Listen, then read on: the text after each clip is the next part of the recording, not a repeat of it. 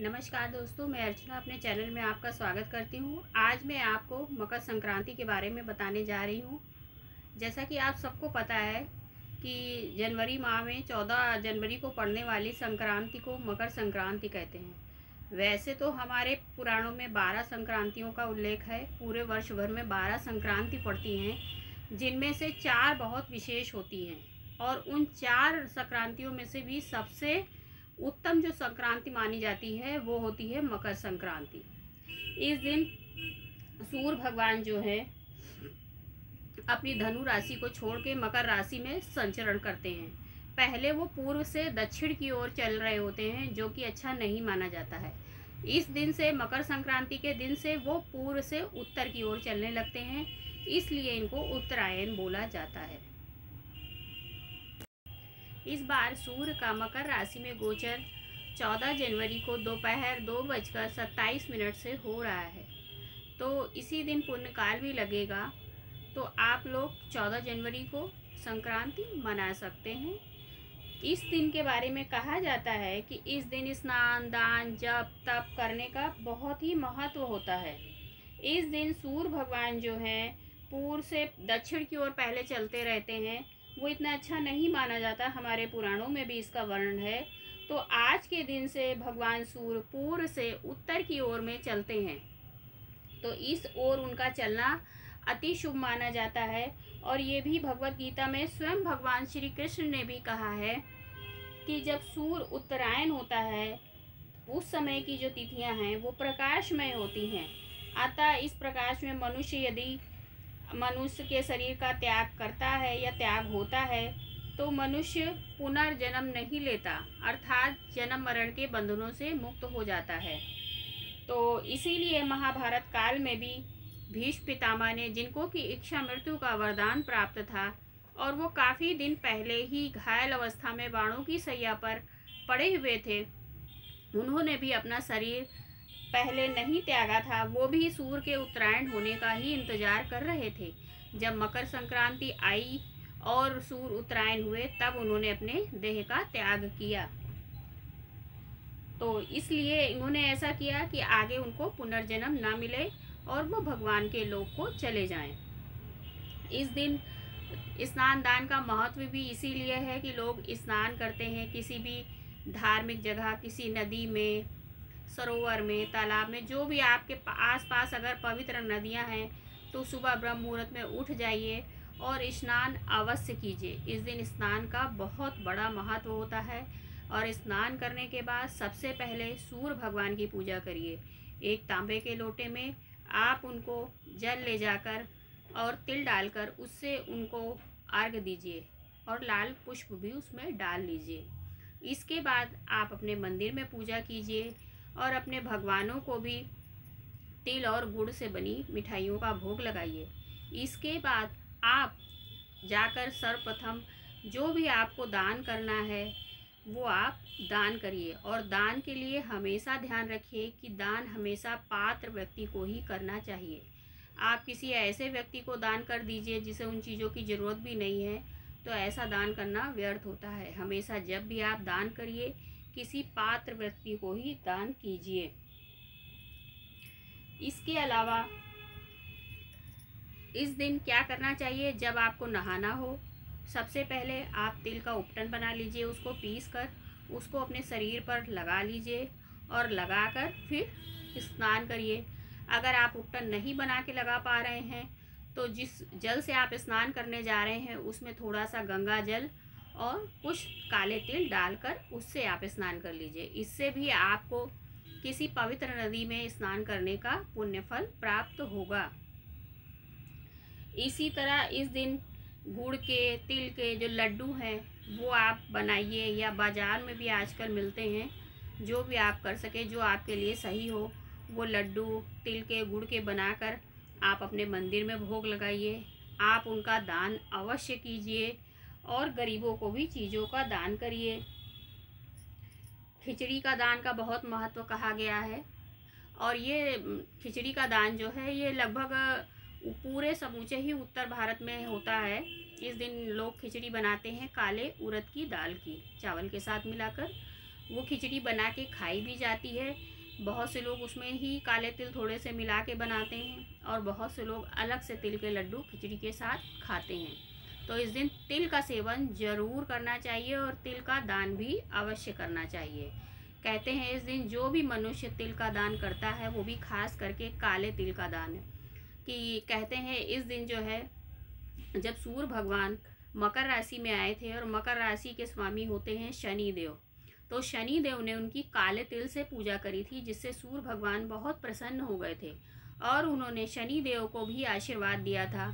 कि आज के दिन जो भी मनुष्य मेरी काले तिलों से पूजा करेगा और काले तिल का दान करेगा, वो हर प्रकार के जन्म बंधन से छूट जाएगा और उसके समूह पाप नष्ट हो जाएँगे और वो शनि की ढैया या साढ़े साथी की भी पीड़ा से मुक्त हो जाएगा। संक्रांति का जो पुण्य काल है, वह चौदह जनवरी को दो बज के बारह मिनट से पाँच बजकर पैंतालीस मिनट तक है। तो जैसा कि आपको दान और जो भी करना है, इस तरह के पूजा, पाठ, तप, ये सब आप इस पुण्य काल में कर सकते हैं। इस दिन खास करके आपको दान अवश्य करना चाहिए और गौ माता की, गौ माता की भी सेवा अवश्य करनी चाहिए।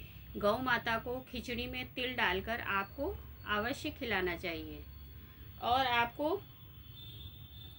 अपनी जो घर में खिचड़ी बनती है, वो खिचड़ी बनाकर उसमें तिल डालकर या तिल के लड्डू जो गुड़ से मिला के बने हों, वो साथ में रख कर अपने घर में इष्ट देव, आपके भगवान मंदिर में, आपके घर के मंदिर में जो भगवान रखे हैं, उनको आपको भोग अवश्य लगाना चाहिए और मंदिर में दीप अवश्य प्रज्वलित करना चाहिए। और दीप हो सके तो शुद्ध देसी घी का प्रज्वलित करिए।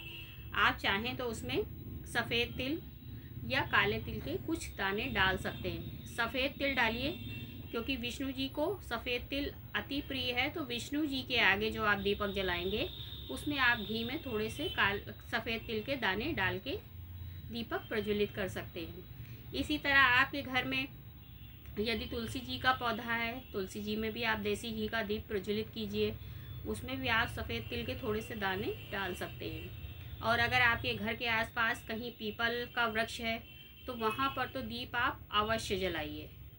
वहाँ पर आप तिल के तेल का दीप जला सकते हैं। इसी तरह आपके घर के आसपास कहीं अगर आपको बरगद का वृक्ष मिल जाता है तो बरगद के वृक्ष के नीचे और एक और वृक्ष बहुत ही प्रिय होता है क्योंकि ये कृष्ण जी का प्रिय महीना है तो कृष्ण जी को कदम का वृक्ष बहुत प्रिय होता है। आप चाहें तो अगर कदम का वृक्ष आपको कहीं मिलता है तो उसके नीचे भी आप ये दिया लगा सकते हैं। इसी तरह से इस दिन आपको अपने पितरों को भी ज़रूर जल देना चाहिए।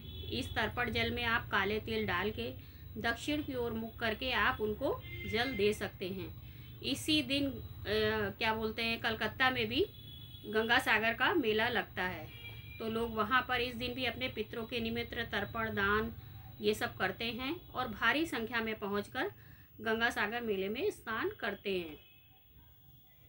इस दिन जो है आपको विष्णु भगवान की, शिव भगवान की अभिषेक ज़रूर करनी चाहिए।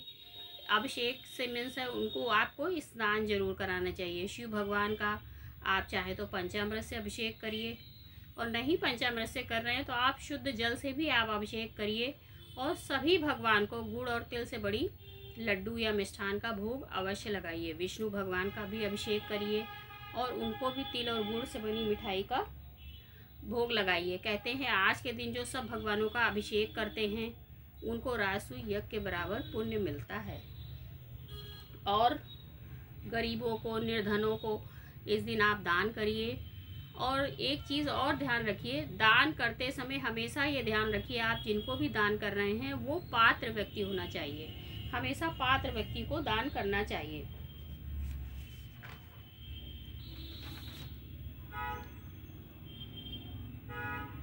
बहुत जगह पे जो है पतंग उड़ाने की भी वो है।